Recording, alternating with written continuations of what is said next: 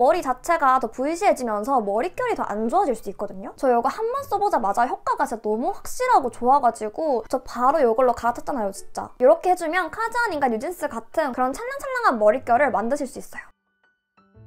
안녕하세요 여러분 민델리입니다 안녕 여러분 제가 몇 년 동안 머리를 긴 머리로 유지를 하고 있고 머리 염색을 주기적으로 해주고 있잖아요. 심지어 저는 헤어 스타일링 때문에 헤어 스프레이를 거의 맨날 쓰고 있거든요. 그래서 주위에서 제일 많이 듣는 소리가 생각보다 머릿결 되게 좋은데였어요. 근데 여러분들도 아시겠지만 제가 원래부터 머릿결이 엄청 좋은 편은 아니었거든요. 제가 템발을 되게 많이 받기도 하고 작년 말쯤부터 알게 된 팁들을 적용해서 관리를 계속하다 보니까 요즘 머릿결이 진짜 너무너무 좋아졌어요. 진짜 머릿결 완전 차분하고 찰랑찰랑 거리지 않나요? 그래서 이런 거 저만 알고 있으면 또 안 되니까 오늘 머릿결 좋아지는 꿀템부터 관리 방법까지 이렇게 한번 탈탈 털어보도록 하겠습니다. 솔직히 저도 이 방법들 지키지 않으면 다시 머리가 원상복구 되거든요? 완전 부시시해진단 말이에요. 그만큼 한 번만 따라 하셔도 효과를 완전 톡톡히 보실 수 있을 거예요. 진짜 머리 두껍고 잔머리 많은데 직모인 제가 장담을 할 수 있어요. 그럼 오늘 영상도 저 끝까지 함께 해주시고요. 영상 시작하기 전에 좋아요, 구독하기 한 번씩 눌러주시고 그럼 영상 바로 시작해볼게요. 시작!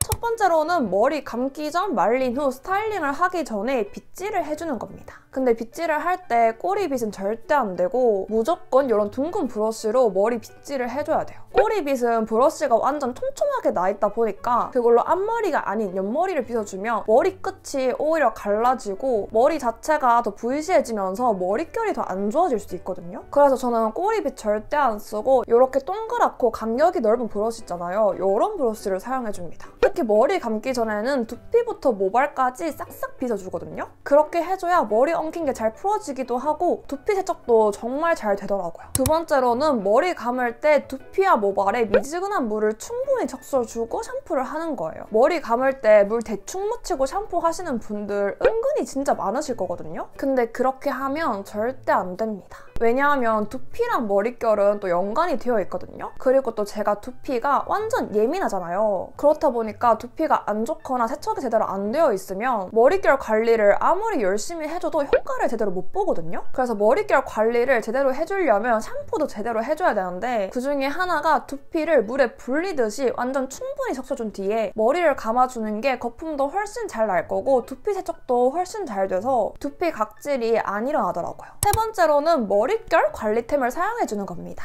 이렇게 말을 하면 갑자기 웅성웅성 하실 것 같은데 머릿결 관리를 하려면 기본적으로 이런 것도 지켜야 하지만 저는 템빨도 진짜 많이 받는 편이거든요. 그래서 집에서 미용실 효과를 낼 수 있는 제가 요즘에 너무너무 잘 쓰고 있는 머릿결 관리템을 한 개 소개해드릴 거예요. 바로 카즈하 트리트먼트로 요즘 정말 유명한 아도르 Perfect Hair Fill-Up인데요. 이게 후루룩 사용해주기에도 진짜 너무 좋고 special care용으로 사용해주기에도 진짜 너무너무 좋더라고요. 우선 이 제품은 흡수가 빠른 액상 형태의 트리트먼트예요. 액상형이라고 하면 되게 가벼운 느낌인데 손상된 큐티클에 유효 성분을 빠르게 침투시켜줘서 모발에 겉만 코팅하는 게 아닌 속까지 단백질을 완전 꽉꽉 채워주는 클리닉 케어를 할 수 있는 그런 제품이에요. 솔직히 제가 헤어 제품을 안 써본 게 없을 정도로 진짜 많이 써봤고 관심이 진짜 많거든요. 그래서 솔직히 그냥 다른 제품들이랑 진짜 비슷하게 좋은 그런 느낌인 줄 알았거든요. 근데 전혀 아니에요. 이거 진짜 너무 좋아. 저 이거 한 번 써보자마자 효과가 진짜 너무 확실하고 좋아가지고 저 바로 이걸로 갈아탔잖아요, 진짜. 진짜 이거 너무 좋아. 미쳤어요.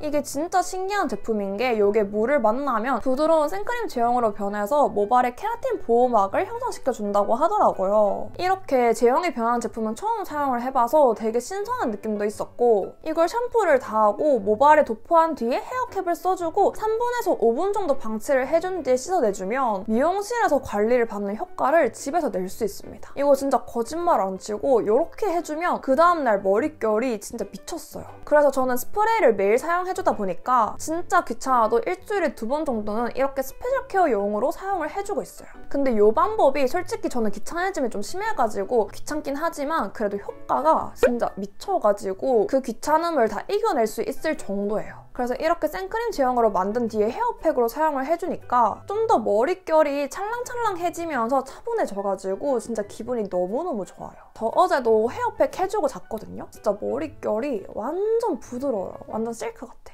근데 이렇게 하기 진짜 너무 귀찮다 하시는 분들이 많으실 것 같거든요. 왜냐하면 저도 진짜 한 귀차니즘 하는 사람이기 때문에 그 마음을 너무 잘 알아요. 진짜 바쁜 현생을 살다 보면 빨리 씻고 자고 싶고 솔직히 이렇게까지 해주기 너무 귀찮잖아요. 근데 얘는 아까도 말했지만 그냥 후루룩 쓰기에도 진짜 너무 좋아요. 이게 물에 닿으면 생크림 제형으로 변한다고 해가지고 저는 그냥 샴푸 다 하고 냅다 요거를 모발에 부어주거든요. 그냥 일반 트리트먼트 하는 것처럼. 이렇게 해주면 물이랑 Hair Fill-Up이 만나면서 뜨끈뜨끈 하게 열이 올라와요. 생크림 제형으로 만들 때도 자체 발열 시스템이라고 열이 뜨끈하게 올라오는데 이렇게 사용을 해줘도 미열이 올라오 오더라고요. 근데 이 트리트먼트 원리가 열이 올라오면서 이 heating 효과로 손상모 케어를 극대화시켜주는 그런 제품이기 때문에 이렇게 도포를 해주고 1, 2분 뒤에 헹궈내주는 것도 효과가 되게 좋더라고요. 이렇게 해주면 진짜 피곤해서 씻기 귀찮은 날에도 빠르고 쉽게 머릿결 관리가 가능해서 나는 빠르게 씻어야 한다 하시는 분들에게도 진짜 너무너무 추천을 해드려요.